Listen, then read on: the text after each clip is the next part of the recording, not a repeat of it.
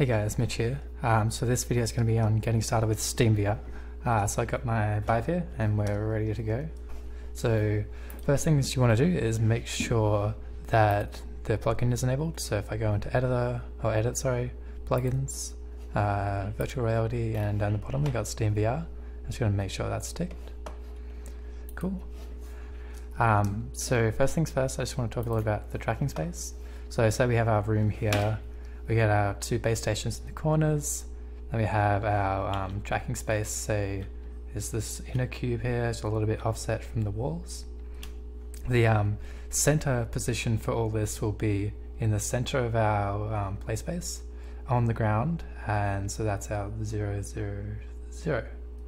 And why this is important is um, the offset for both our headset, our little headset, and our controllers will all be relative to this uh, 000 position. And now we can just go straight into it. So I'm just going to create a blueprint class of type pawn and name it uh, Steam VR pawn. Cool. And we're going to go into here. So right off the bat, there are a few things that you need to be aware of when working with the Vive. So by default, UE4 will set the base eye height to 64 and what this will do is to have an offset for the camera at the initial position. So with the Vive, when we have a 000 here, it actually add a 64 unit offset from this position, meaning that whenever we place our player in the game, it actually be offset 64 units up, up above the floor, which is not what we want.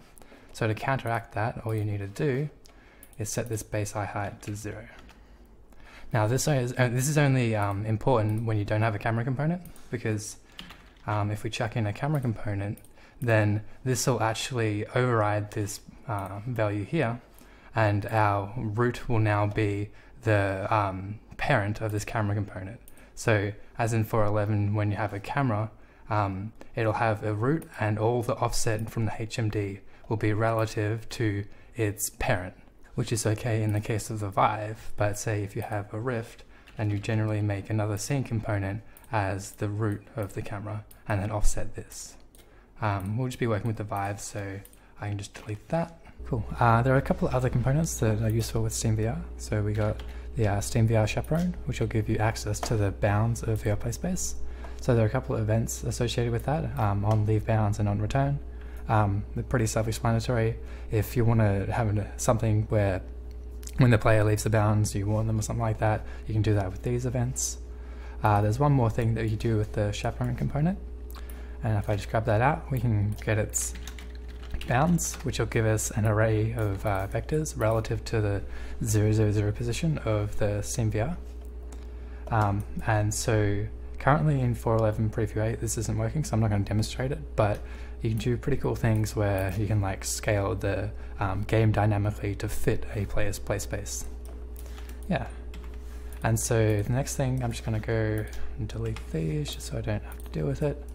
Um, the next thing I'm just going to go through are a couple of the functions that SteamVR gives us. So if I go to SteamVR in the uh, blueprint menu, uh, you'll see we have under this sub menu, you have get hand position and orientation, tracked device position and orientation, and valid tracking IDs. So I'm just going to grab all three of them and I'll just go through them individually. And cool. So uh, first things, I'm just going to go with this valid tracked devices IDs. So um, as you'll see, there's the controllers, tracking reference, and other and invalid. You can actually hover over these and I'll tell you what they are, but I'll just go through it. So controller, very self-explanatory. You've got your two Vive controllers, the two ones. Um, the uh, tracking reference will be your uh, camera or your base stations in the case of the Vive. So just to demonstrate these, I'm just going to grab my tick and I'm just going to uh, debug, draw a box. And this is going to be uh, 50 units by 50 units by 50. And then, so I'm just going to do a loop through our tracking IDs. And I'm going to grab it. And for each of them, I'm going to use our node here, the get track device position and orientation. And this is pretty easy, just takes in an ID and give you the position and orientation of that device. So I grab the array element and chuck it into our center of our box and the rotation. and those two are going to be, oh, I'll actually make that a more bright uh, reddish pinkish color just so we can see it. Um, and so now we're getting our tracking, tracking reference. So this should uh, get our base stations. So if I just uh, back out of there, chuck in our SteamVR pawn, and uh, I'm just to zero out these components actually. And then make sure AutoPossess Player zero is set to true. And then one other thing, I'm just going to make sure my anti-aliasing is off just so I can see the um, debug lines a bit easier for you guys. So if I hit play, and then I look around with my uh, SteamVR headset, or Vive basically, you'll see there is my base station 1, and over in the other corner my base station 2. Obviously that's a lot bigger just because I choose, chose my extents arbitrarily, but yeah, it's pretty neat to see them both in the environment. So the next thing we can do is grab our controllers as well. So if I change this device type to controller and then hit play again. And as you can see, we can see our controllers here, got the orientation and position, which is pretty cool. Now there's one thing to note about this, and also this helper function that I'm going to mention in a sec.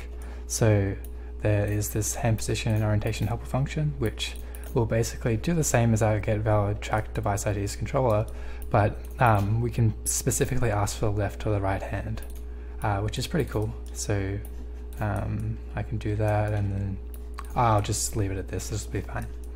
So there's a couple of things to know about this, is that this doesn't have our, um, our late update. Um, so the controllers in UE4 will have a late update, which will, at the end of the frame will update it to the very latest position. So I can demonstrate that actually pretty easily. So if we grab our motion controller component, which is main, the main way you'll be dealing with motion controllers actually, we don't really use these helper functions very much. So if I grab motion controller, you can see the hand index we have. So then we have our left hand or right hand. And so we also have uh, the player index, which is to distinguish between uh, players in the same track space. Uh, you won't likely use that too much. Uh, but here we have disable low latency update, which um, I can actually visual visualize that pretty well. So if I just chuck a sphere component, and just put that on my motion controller. I'm going to scale it down to at least 0.1 so it's small enough. And then I'm going to grab this extent and maybe scale this down to like 25, just half what we had before because it's a little bit big. And you'll notice if I hit play now and use my uh, Vive once, we have the sphere in the middle and we have this box and the sphere will actually uh, update at a quicker rate, or not quicker rate, but it'll have that low latency um, update, so it can leave the box behind a little bit. It's a little bit hard to see, but it's really noticeable in VR. And so um, I always suggest just leaving this off in the default value. So the next thing we want to do is um, get inputs from our motion controllers and those are uh, handled through generic uh, gamepad gamepad inputs. So if I go uh, motion controller, we'll see we have these uh, gamepad events for both our left motion controller and our right. So you're looking at me like, oh, there's a lot of events here. I have no idea what any of those do. Um, lucky I've built a map because it's not exactly self-explanatory. So if I go here and just show you this, there we go. So um, I just went ahead and tested all the buttons and uh, tried to see exactly what they map to on the Vive controllers. Um, this is just a consequence of UE4 having a generic motion controller interface where um, it has to uh, accommodate for the buttons of every single motion controller, so there's a little bit of bloat there.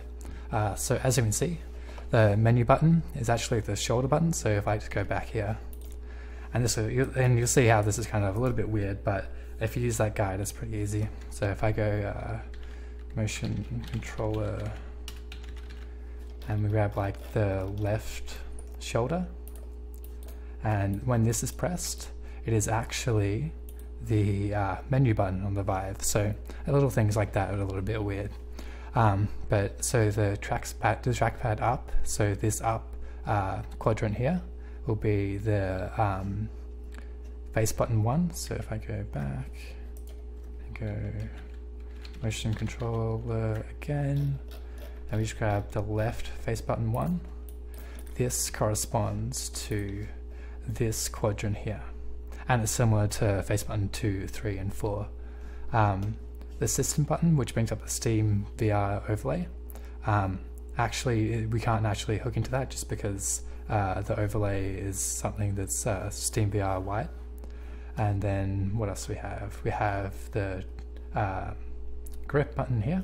This is grip one. There's also, if we look here, go back, motion controller. There's also a uh, grip one axis and a grip two and grip two axis. These uh, grip one axis that doesn't do anything because the grips on the Vive don't have an axis value. They're just uh, boolean yes or no's. And the grip two, there is no grip two on the Vive, so this uh, does nothing. So if we look back here as well, we got the trigger and the trigger axis. This that actually corresponds perfectly, so that's good. So motion sorry. Controller, we got our trigger and trigger axis, and that works perfectly fine. And then we also have our uh, press anywhere on the touchpad, and so I just trackpad press here, and that's actually if I go motion controller, naturally co corresponds to our thumbstick. Now these thumbstick down, left, right, up, they do nothing, they don't work either. Um, but yeah, this thumbstick is trackpad press anywhere. So yeah, those are the inputs. Um, I'll put this uh, image in the description just so you can have it um, for reference. There's uh, oh one more thing actually. This uh, thumbstick X and thumbstick Y corresponds to the position you're touching on the touchpad. So if I go back here, and I just get a motion controller Again, we have, um, we can grab our values, which will be, or even our events, so thumbstick X, and then controller and thumbstick Y, and those will be our X and our Y coordinate that our thumb is touching this trackpad.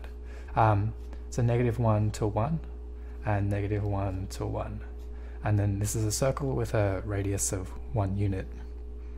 So um, you can do some cool things where um, you can detect quadrants and stuff if you don't like these um, up, down, left, right quadrants. But yeah, um, those are the inputs for the Vive. Again, that picture will be in the description. As for anything else that is uh, Vive specific, I can't really think of anything. If you have anything that you want me to cover, uh, just ask me in the comments. Um, but yeah, for any other VR stuff in UE4, just check out my other videos. Um, they cover, they should work uh, both on the Rift and the Vive, which is pretty cool. Um, but yeah, if anything, any comments, suggestions, check them in the comments. Thanks for watching.